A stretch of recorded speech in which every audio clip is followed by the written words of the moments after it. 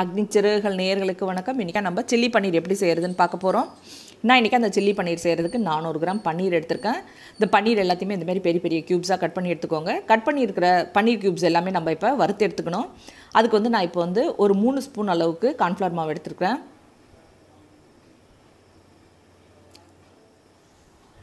ஒரு ஸ்பூன் மைதா மாவு எடுத்துக்கோங்க. ஒரு ஸ்பூன் மிளகுத்தூள் சேர்த்துக்கோங்க. ஒரு ஸ்பூன் இஞ்சி பூண்டு விழுது சேர்த்துக்கோங்க. அரை ஸ்பூன் அளவுக்கு உப்பு சேர்த்துக்கோங்க. இதில் கொஞ்சமாக தண்ணி சேர்த்து நல்லா வந்து மிக்சர் வந்து நல்லா வந்து கரைச்சி எடுத்துக்கோங்க. கட்டியெல்லாம் எதுவும் இருக்கக்கூடாது.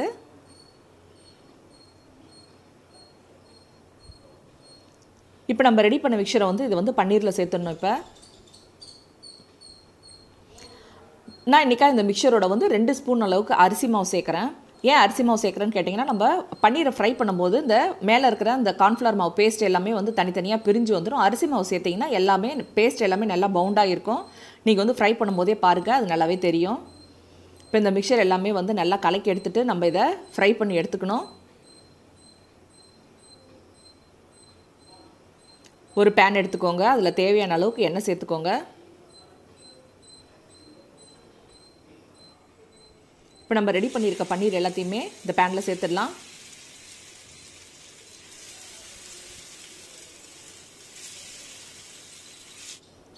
இப்போ வந்து இந்த பன்னீர் வந்து ரெண்டு சைடுமே நல்லா பொன்னிறமாக வர்ற வரைக்கும் நம்ம வறுத்து எடுத்துடலாம்.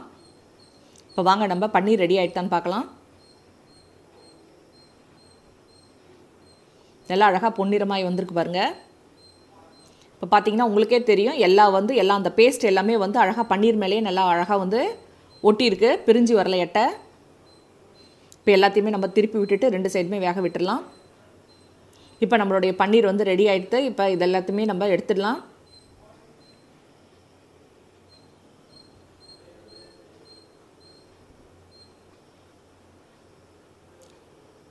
இப்போ நம்ம வந்து இந்த சில்லி பன்னீருக்கு தேவையான மசாலாவை வந்து அடுத்ததாக நம்ம ரெடி பண்ணலாம்.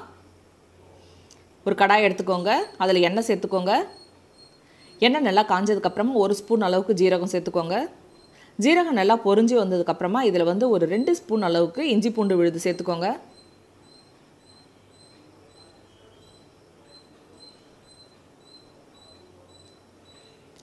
நான் இன்றைக்கி அந்த சில்லி பன்னீர் நல்லா டேஸ்ட்டாக இருக்கணுன்றதுக்காக ஒரு பத்து பூண்டு பல் எடுத்திருக்கேன். அது எல்லாமே நைஸாக வந்து சாப் பண்ணி எடுத்திருக்கேன். அதையும் இப்போ அதில் சேர்த்துக்கோங்க.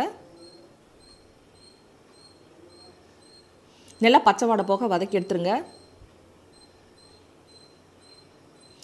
நான் இன்றைக்கி ஆறு பச்சை மிளகாய் சேர்த்துருக்கேன். உங்களுக்கு காரம் கூடுதலாக தேவைன்னா கூடுதலாக பச்சை மிளகாய் சேர்த்துடலாம். அதையும் வந்து நல்லா சின்ன சின்னதாக கட் பண்ணிவிட்டு சேர்த்து வதக்கிடுங்க. நான் இன்றைக்கி மூணு மீடியம் சைஸ் வெங்காயம் எடுத்திருக்கேன். அதை வந்து இந்த மாதிரி க்யூப்ஸாக கட் பண்ணி எடுத்து அதை சேர்த்துக்கோங்க. சேர்த்துட்டு நல்லா வதக்கிடுங்க.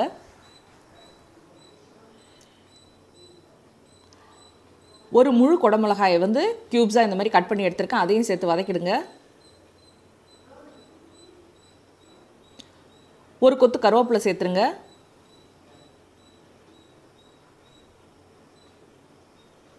ஒரு ஒன்றரை ஸ்பூன் அளவுக்கு மல்லித்தூள் சேர்த்துருங்க. சேர்த்துட்டு நல்லா பச்சை வாடை போக வதக்கி எடுத்துடணும்.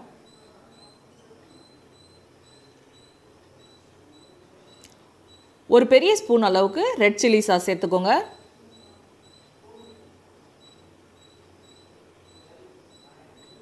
ஒரு ஸ்பூன் அளவுக்கு சோயா சாஸ் சேர்த்துக்கோங்க. சேர்த்துட்டு எல்லாத்தையுமே நல்லா வந்து மிக்ஸ் பண்ணி விட்டுருங்க. நான் இன்றைக்கி அதுக்கு வந்து கலர் கிடைக்கணுன்றதுக்காக கேசரி பவுட்ரு சேர்க்குறேன். சப்போஸ் உங்களுக்கு வந்து விருப்பம் இல்லைனா நீங்கள் வந்து அதை வந்து ஸ்கிப் பண்ணிக்கலாம்.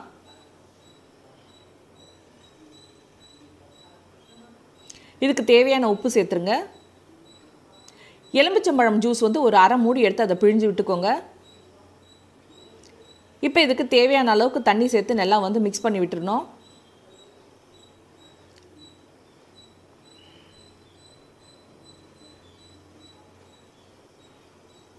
இப்போ தண்ணி பத்தலை இன்னும் கூடுதலாக கொஞ்சம் தண்ணி சேர்த்துட்டு நம்ம நல்லா மூடியை போட்டு கொதிக்க விட்டுறணும்.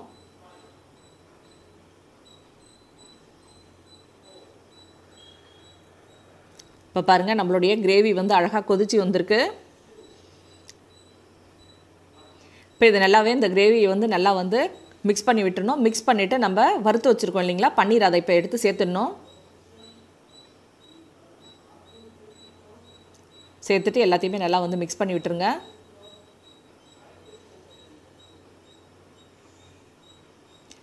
இது வந்து இப்போ வந்து ஒரு மூடி போட்டு மறுபடியும் நம்ம வேக வச்சிடணும் நல்லா. இப்போ பாருங்கள் நம்மளுக்கு நம்மளுடைய பன்னீர் வந்து ரெடி ஆகிடுது அதில் இருக்கிற தண்ணி எல்லாமே நல்லா பன்னீர் வந்து அப்சர்வ் பண்ணி சூப்பராக ரெடியாகி வந்திருக்குங்க. இப்போ இந்த நேரத்தில் நம்ம இதில் கொத்தமல்லி தழை சேர்த்து நம்ம அடுப்பு ஆஃப் பண்ணிடலாம். நம்மளுடைய சில்லி பன்னீர் ரெடி ஆகிடுது இந்த சில்லி பன்னீர் வந்து சப்பாத்திக்கோ நானுக்கோ தொட்டு சாப்பிட்டிங்கன்னா ரொம்ப நல்லாயிருக்கும். நீங்களும் இந்த உங்கள் வீட்டில் செய்து கொடுத்து எல்லாரையுமே அசத்துங்க. இந்த சேனலை சப்ஸ்கிரைப் பண்ணாதவங்க சப்ஸ்கிரைப் பண்ணுங்கள் பக்கத்தில் இருக்க பெல் ஐக்கானை ப்ரெஸ் பண்ணுங்கள் என்னுடைய வீடியோஸ் எல்லாமே உங்களுக்கு பிடிச்சிருந்ததுன்னா என்னோட இன்பாக்ஸில் வந்து கமெண்ட் பண்ணுங்கள் தேங்க்யூ